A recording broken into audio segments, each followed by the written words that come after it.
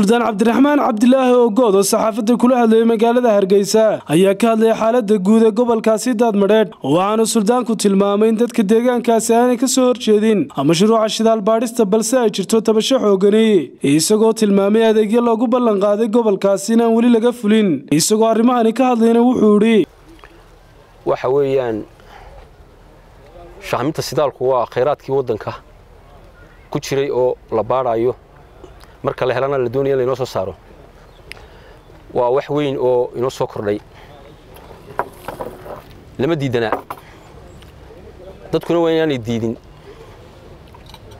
Haddaan u soo noqdo reer daadmadheedhna deegaanka baloogga oodweyne lagu magacaabay shidaalkiisa in la baadho reer daadmadheedh ma diidana ma diidi karaan waa horumar.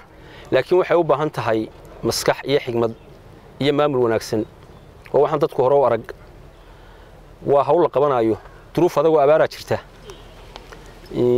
Dadku markay maqlaan shahmin sidaal iyo shirkado waxay malaysanayaan adduun iyo lacag. Shirkado hore oo dee waddanka yimi oo kuwa balooga bariga baadhaya kale oo dee lacag sitay oo dee qof waliba bidhaanteeda arkayna way jirtay. Marka duruufta jirta awgeed iyo dadkii oo ama ha ka hungureeyaan shaqo ama ha ka hungureeyaan dhaqaalo soo kordhay maadaama waddankii dee maclintiisii la baadhaayo maskaxdii maamuli layd iyo ciddii dadka la hadli layd iyo ciddii dadka qancin layd iyo ciddii dadka shaqada ugu cadaalad samayn layd baa loo baahan yahay inay si wacan u fikirto. Siba cidda hawsha gacanta ku haysa. Marka anigu waxaan maanta halkan idinku sheegayaa dadka u caddaynayaa shacabka reer somalilan iyo dowladdaba reer daad madheedh ma diidana in la baaro shidaalka in la baadho ma diidana mana diidi karaan. Waxyaabahay ka tabanayeen siday ku hadleen ay isa soo arkeen waftigii wasiirada tegeyba waxa weeyaan waxyaabaha yareer shaqada iyo koontaraadada iyo haddii shidaal la soo qaadayo haddii biyo la soo qaadayo haddii raashin la soo qaadayo shaqaalaha waxyaabaha caynkaasa in dadka deegaanka shidaalka laga baadhayo balooga balooga inay lagu tixgeliyo oo xaabe waxa xaabkaa iyaga la siiyo. Ujeeddadu waa intaa laakiin warka odhanaya shidaal baa la diiday iyo shidaal baa diidan la diidan yahay ma jirto. Arrintaasu wuxuunbay maalintii dhowto wasiiradii tegey wafdi ballaadhan baa tegey waxay ahayd inay afjaraan khilaafkii meesha yaallay oo dadka isfahansiiyaan oo odayaasha iyo shacabka kacay iyo ragga ganacsatada ah arrintaa doonayay inay wax ka hunguraynayey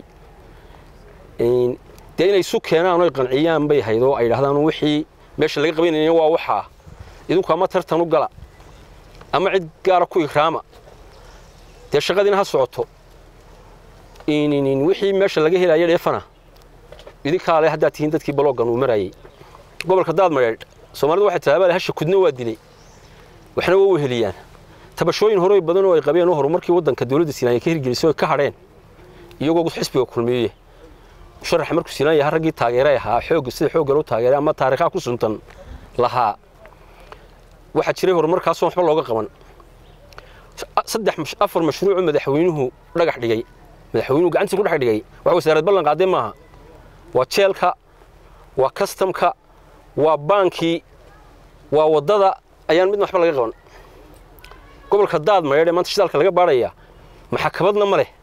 Maxkamadiisu waa laba qoloo yaryaroo lix iyo kontonkii ingiriisku dhisay jeel male qofka lagu soo xidho? Dhanka kale suldaanku wuxuu dhaliilo xooggan u diray barasaabka gobolkaasi daadmadheedh iyo wasiirka warfaafinta. Isagoo arrimahani ka hadlayana wuxuu idhi gobolku barasaab ma leh. Barasaab ka shaqeeya.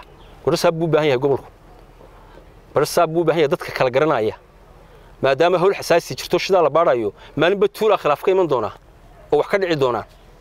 Dee wasiirka arrimaha gudaha in lagu soo qaliya maaha ninkii xallin laha ee dadka garanayey ee dhibaatadaa dabooli laha ee odayaasha garanayay ee dadka isugu yeedhayey ayaa loo baahan yahay in la helo.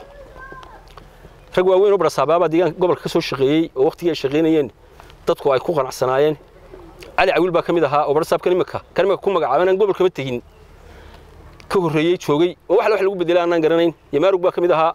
Taladeeda kale aan siinaya imika dowladdana waxay tahay wasaaradda arrimaha gudahaba golobku wuxuu u baahan yahay barasaab ka shaqeeyo oo deegaanka garanaya maadaama hawshan ka jirto arrinta mudaharaadka ee maalintii dhaweyto calanka kulmiye lagu gubay. Meeshaba siyaasad lagagama hadliin. Kambeyn xisbina ma jirin.